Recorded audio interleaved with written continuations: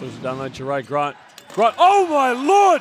Jerai Grant took it down the middle and just put Johannes Thiemann on a poster. Johannes Thiemann wasn't expecting, we were not expecting that. That is going to be on the top five play of the week. No mercy for human life. No regard for human life.